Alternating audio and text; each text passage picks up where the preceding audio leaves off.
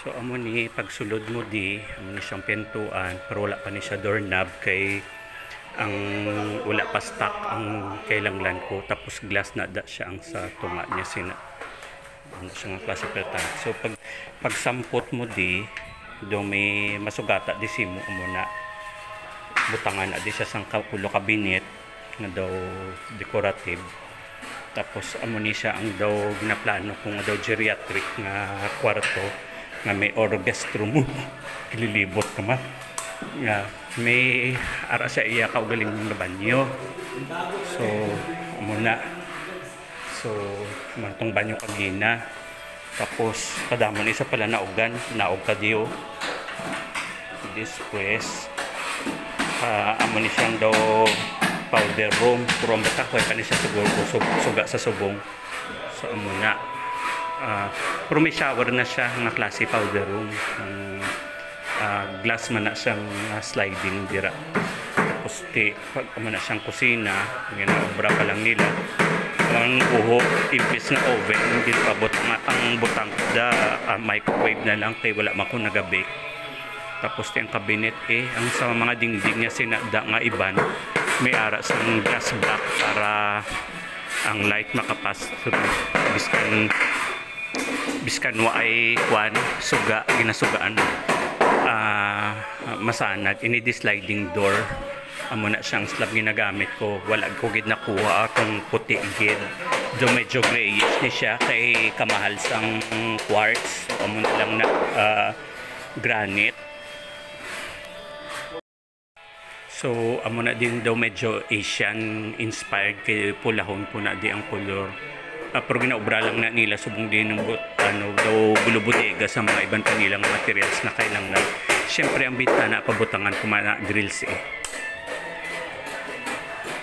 So, saka ka na naman di. So, ugtas ginantigulang di sa akon.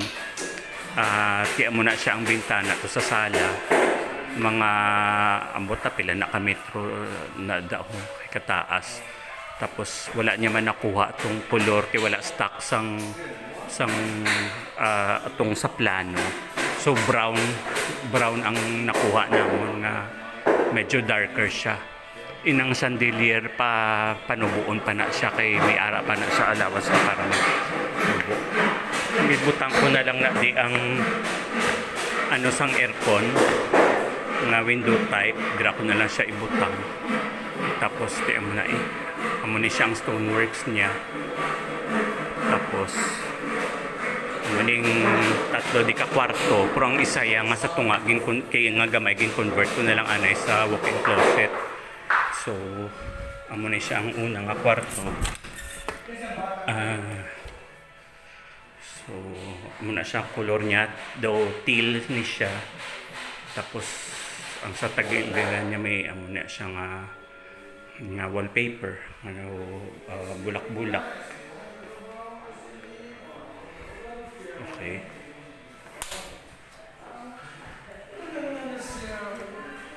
Tapos supposedly kwarto ni siya pero ginubra ko na lang siyang uh, uh, walk-in closet anay. Kaya gamay man lang. So, uh, amo na siyang dopertahan sinada.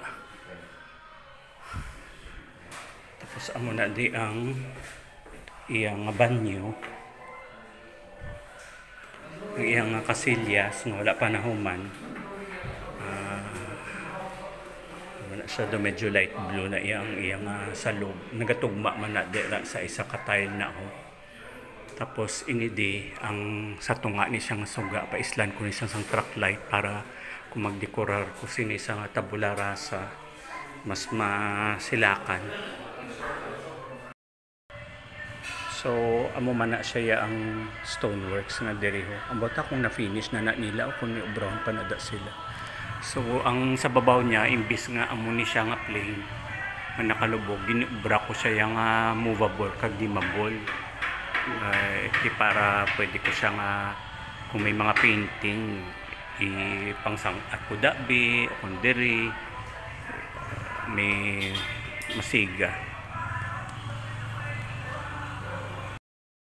So amo na di ang ulihi nga room. Supposedly mauve ni siya ang kulay, nga daw lighter lang siya. Galing kay lain kung lantawon mo siya sa pintura, lain man kung dire.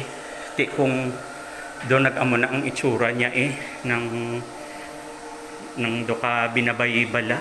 So okay lang kung masanagan na siya sang adlaw.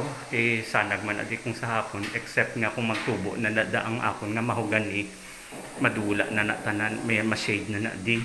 So amo ni siya mauve ni siya dapat so, which, which means daw lighter. Ah, timay man lang kay may ano ni siya huma daw daw mamo man nga kulay sang ah, wallpaper So amo na ang iyang ah, bintana duwa ka sides tapos amo na da siyang piyak nga kwarto nga ginobra ko na siyang ah, um, walk-in closet. Inang ginaatubang tabutangan na da siya sang closet nga built-in kag dire Ah, tapos amo ni siya ang iya nga daw sliding door ginambal ko nga ang espiho sin asang sliding door imbis nga dito sa piyak diri na lang kay para kung maglakat kung magtakos ko be pwede pa kahimo sang distansya